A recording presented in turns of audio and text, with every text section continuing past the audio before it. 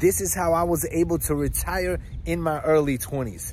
Hello everybody, my name is Sanad and welcome to another episode of The Clever Millionaire. Before we get started, I would appreciate it if you smash the like button and subscribe to the channel. And don't forget to check out the links in the description box below for some free crypto and let's get the video started. Behind me right here is one of my rental properties. This is how I was able to retire in my 20s and that is by owning a couple of these. In today's video, I'll be doing a bunch of work to this property. We're going to be putting brand new siding, painting. We're going to renovate the bathroom and get it ready to. A lot of you guys know me for crypto, for earning passive income, investing in low cap gems, and pretty much everything crypto related. But how I became financially free is due to real estate. I think it is one of the best ways to earn some passive income and to pretty much build a portfolio that you can live off of. Don't get me wrong, crypto is amazing. And in my opinion, it is the fastest way to get rich right now. But if you made a ton of profits with crypto, start diversifying. Personally, I did it the other way around. I made a ton of profits investing in rental properties and I took that money and jumped into crypto.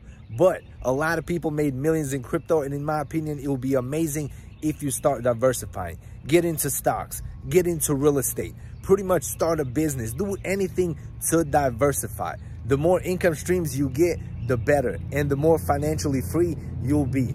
Real estate provides some amazing benefits when it comes to taxes. Benefits that stocks and crypto can never dream of providing. So that is why, in my opinion, I like to own everything from stocks to real estate to crypto. Don't get me wrong, investing in real estate is a lot harder than stocks and crypto, and you would need a lot of money up front to get started. The way I did is very simple. I found my first rental property, put 20% down, used my own money to renovate it and get it rent ready. Once I did that, it slowly started accumulating. Then I will get another property, another one, and another one, and so on until I build enough passive income where I was able to quit my nine to five job.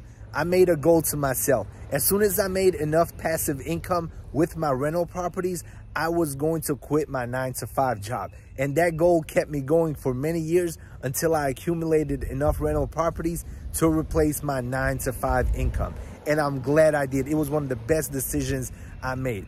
And then once I quit my nine to five job, I was financially free. And that pretty much gave me all the time in the world to invest in crypto, to start a YouTube channel, to invest in the stock market, to pretty much diversify. Guys, you would not believe what free time does to your thoughts, does to your income, does pretty much to your whole way of life.